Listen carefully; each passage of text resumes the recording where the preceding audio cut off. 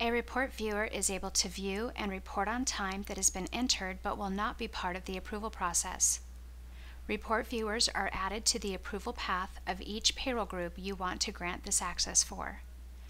To set this up, click the Remote Payroll button, Payroll Groups, select your group, Approval Path, and add Approve Level.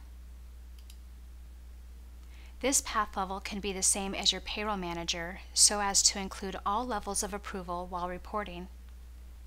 For this group, the payroll manager is level 3. Level type is a group manager. Manager type is a report viewer. Make sure to uncheck all permissions, add level, and save your approval path. Now that the report viewer role has been added to the approval path, you will see this option in the left column. This is where you assign which users you want to be report viewers.